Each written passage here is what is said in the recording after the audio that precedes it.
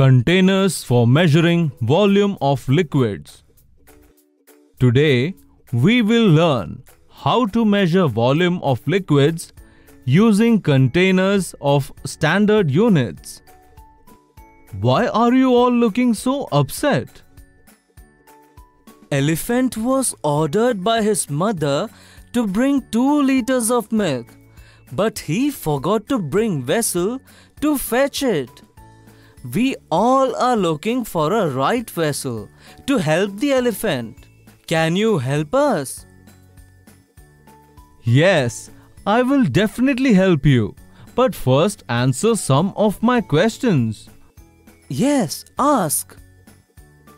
Okay, just look at the nearby shop and tell me what are those things that are found in a bottle.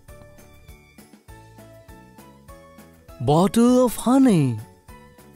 Bottle of cold drink. Bottle of oil. Bottle of shampoo. Well done! Can you match all these liquids with their right amount? Bottle of honey is of 500 ml. Bottle of cold drink is of 200 ml. Bottle of oil is of 5 liters. Bottle of shampoo is of 1 liter. Exactly. So we saw that we use liters as units and big containers for liquids which have more volume. And for liquids whose volume is less, we use small containers and smaller units such as milliliter for them.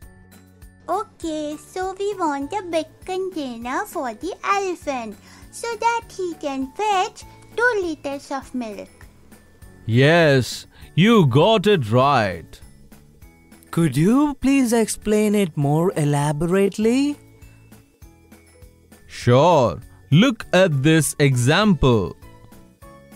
Chandu brother, how much milk do you want today? I want four and a half liters of milk today. Look, Bholu, the milkman has four vessels. The largest one is of 1 liter, then 500 ml, then 250 ml, and then the smallest one is of 100 ml. Brother, which vessel will you use to give four and a half liters of milk? I will use 1 liter container for 4 times to measure 4 liters of milk and 500 liters of container to measure the rest half a liter of the milk. Let me tell you another way. You can also measure 4 liters of milk by using 1 liter of container for 4 times and 250 ml container for 2 times. Yes, this can also be done. Pinky, bring a container to fetch the milk. Bholu, which container will be perfect for fetching milk? I think this jug is perfect to contain all the milk. This jug wouldn't be able to contain four and a half liters of milk. This will only contain 2 liters of milk. We shall use a small vessel. Daddy, is the vessel perfect for fetching milk? Pinky, this vessel is small for containing that much milk. It can only carry 4 liters of milk. Bring a bigger vessel than this. Bholu, this vessel is also not fit for carrying that much milk. So you take this big vessel. Yes, that would be fine. Is it the right vessel?